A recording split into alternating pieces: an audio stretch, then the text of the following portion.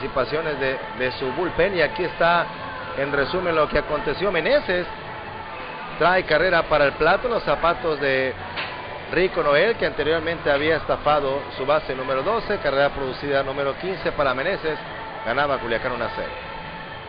Aquí está el equipo de Charros con Orlando Lara, que tira muy bien, una recta pegada, se queja Liz Solís.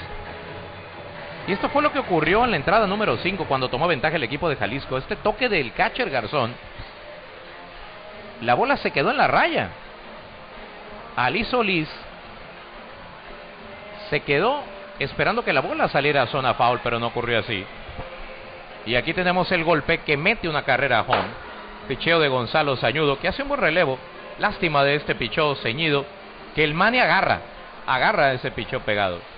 De hecho, le salió barato ahí a, a Tomateros de Culiacán, porque con las bases llenas sin out, parecía que se le venía el mundo encima a los Tomateros. Hay un elevado de sacrificio de Cacao Valdés metió la jugada de esta, la ¿eh? ventaja y esto evitó Porque mayores problemas. No te da impulso, ¿eh?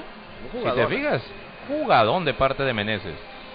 Además para sacar a Marqués Smith que no es lento a la hora de correr. Peña empata el juego con sencillo en la sexta. Y llegaríamos al desenlace de la octava así, Chepe. Con Este Jafet Amador. ganador. Décimo palo de vuelta entera para Jafet Amador con ron solitario. ¿Hasta dónde la mete? Jafet Amador. Sobre lo dispara es una recta de Arias.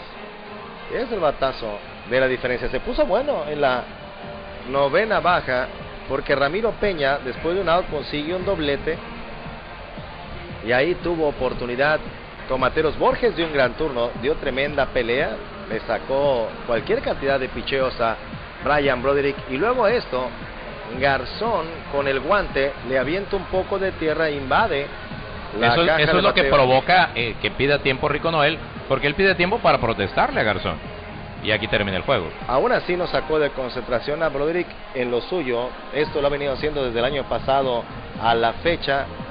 Muy efectivo a la hora de salvar encuentros. Solamente ha fallado en una sola